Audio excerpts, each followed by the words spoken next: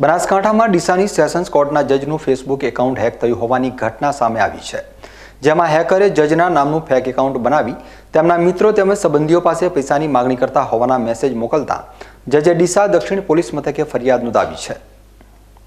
ડીસાની sessions કોર્ટમાં પાંચમા additional civil જજ અને મેજિસ્ટ્રેટ તરીકે ફરજ બજાવતા એટી તિવારીનું જનરલ ફેસબુક એકાઉન્ટ કોઈ અજાણ્યા શખ્સે હેક કરી દીધું હતું. ત્રીસ ઓગસ્ટના રોજ જજના મિત્રનો ફોન આવ્યો હતો કે તે ફેસબુક ઉપર કોઈ નવું એકાઉન્ટ બનાવ્યું છે કે શું? તમારી ફ્રેન્ડ રિક્વેસ્ટ આવી છે. જેથી જજ ચેક કરતા તેમનું ફેસબુકનું ઓરિજિનલ એકાઉન્ટ હેક કરી તેમના હોદ્દા અને ફોટાનો દુરુપયોગ કરી અજાણ્યા હેકરે નવું એકાઉન્ટ બનાવ્યું હોવાનું જણાયું હતું. આ દરમિયાન તેમની માસીની દીકરીના ફેસબુક એકાઉન્ટમાં પણ પૈસાની માંગ કરતો મેસેજ સેન્ડ કર્યો હોવાનું માલુમ પડ્યું હતું. જેથી તેઓએ સગા સંબંધીઓ મિત્રોને ફેસબુકના ફેક આઈડી પરથી ફ્રેન્ડ રિક્વેસ્ટ આવે તો સ્વીકારવી નહીં તેવી જાણ કરી દીધી હતી. અને કોઈ પૈસા ટ્રાન્સફર કરવા નહીં તેમ જણાવ્યું હતું. જ્યારે આ દરમિયાન એક તેમના સાથી જજ, ડીસાના બીજા એડિશનલ સેશન્સ જજ, બીજી દવેના પટ્ટાવાળા જોડે પણ હેકરી સિત્તેર હજારની માંગણી કરી હતી.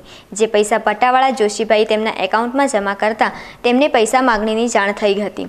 જે બાબતે જજે તુરંત ડીસા શહેર દક્ષિણ પોલીસ મથકે ફરિયાદ નોંધાવી હતી.